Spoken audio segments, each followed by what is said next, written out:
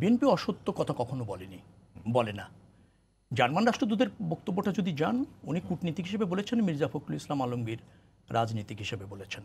Merit ঠিকই আছে German রাষ্ট্রদূত বলেছে উনি কিছুটা মানে অসন্তুষ্ট কিছুটা শব্দটা ব্যবহার করেছে আপনি জানেন যে অস- অসন্তুষ্ট। উনি চেয়েছিলেন ওনাদের কথাগুলি উন্ডাই বলতে চান। আর যেহেতু আমাদের সাথে দ্বিপাক্ষিক মিটিং হয়েছে দ্বিপাক্ষিক মিটিংগুলি হয়েছিল জার্মানের সাথে আপনার মানবাধিকার গণতন্ত্র ভোটাধিকার দুই দেশের পারস্পরিক বিষয়, সেগুলি নিয়ে কথা হয়েছে। যে প্রক্রিয়া কথা হয়েছে, মির্জা ফখরুল ইসলাম আলমগীর সেই প্রক্রিয়ায় বলেছেন। এবং মির্জা ফখরুল ইসলাম আলমগীর এও বলেছেন যে উনি জার্মান রাষ্ট্রদূতকে কোর্ট করেননি, উনি আলোচনা যা হয়েছে তাই বলেছেন।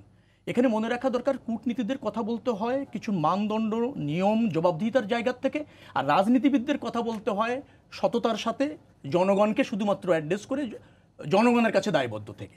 সেই জায়গার থেকে কিন্তু সব ঠিক আছে। জার্মান রাষ্ট্রদূত কিন্তু বলেননি যে মির্জা ফখরুল ইসলাম যা আলো বলেছেন তা সেখানে মিথ্যা বলেছেন আলোচনা হয় নাই এ বিষয়ে কোনো কথাই হয়নি তা তিনি বলেননি। তিনি বলেছেন যে আমাদের অবজারভেশন আমরা বলতে চাই। আমাদের অবজারভেশন বা আমাদের বক্তব্য আমরা বললেই ভালো হয় অন্য কেউ বলুক সেটা তারা চান না।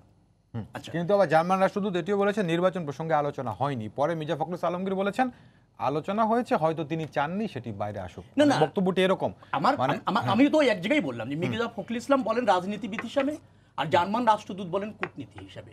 কূটনীতিবিদ হিসেবে কথা বলতে গেলে তার সীমাবদ্ধতা থাকে অনেক রাজনীতিবিদের কথা বলতে গেলে তার জায়গা থেকে অনেক প্রশস্ত। আবার একটা কথা আমি বলি বাংলাদেশের রাজনীতিতে ধরেন এত বেশি গ্রামাটিক্যালি কূটনীতি মেনে সাধারণত দলের থেকে কম কথা বলা হয় সব দল থেকে এরকম বলা হয়।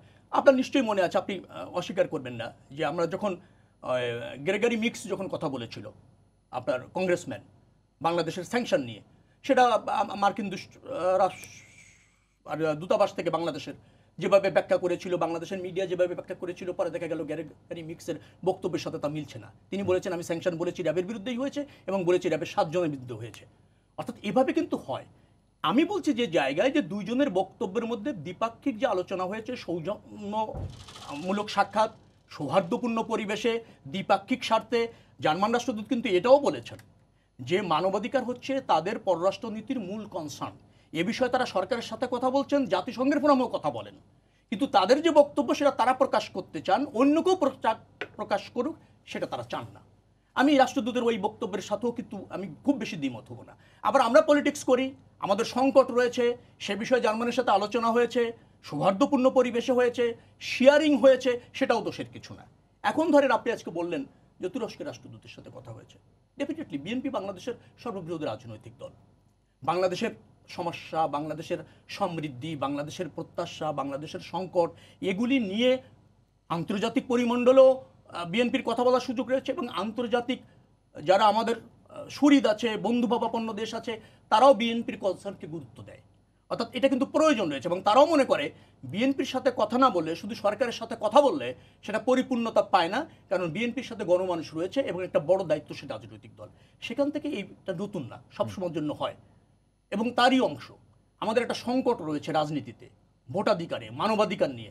সংকট কিন্তু দেশের মধ্যে নেই দেশের বাইরেও চলে গিয়েছে বিস্তৃতি পেয়েছে। সংকটের কথাটা যেটি আপনি বলছেন রবি ভাই এই জায়গাতে সরকারি দল থেকে যেটি বলা হয় যে দেশের বিষয় অভ্যন্তরের বিষয়গুলো বিএনপি বাইরের রাষ্ট্রদূতদের কাছে কিংবা আন্তর্জাতিক পরিমণ্ডলে নিয়ে গিয়ে বাংলাদেশের ভাবমূর্তি নষ্ট করতে চাচ্ছে। এটি সরকারি দলের বক্তব্য।